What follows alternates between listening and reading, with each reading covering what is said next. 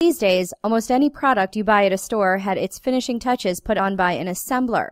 Assemblers and fabricators construct finished products and the parts that go into them.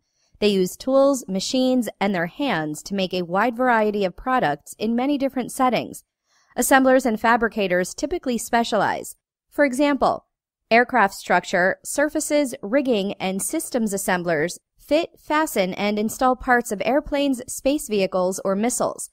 Electrical and electronic equipment assemblers use bolts, rivets, and soldering equipment to build parts of products like motors, computers, and sensing equipment that require the soft touch and fine motor skills of human hands. Fiberglass laminators and fabricators apply layers of fiberglass on molds to form structures for boats, cars, and other products. They wear respirators and protective clothing for safety. Most assemblers and fabricators work in manufacturing plants where difficult tasks may be automated or aided by power tools. However, assembly work can still involve long periods of standing, sitting, or working on ladders. While some jobs involve exposure to chemicals or fumes, ventilation systems generally minimize harmful effects.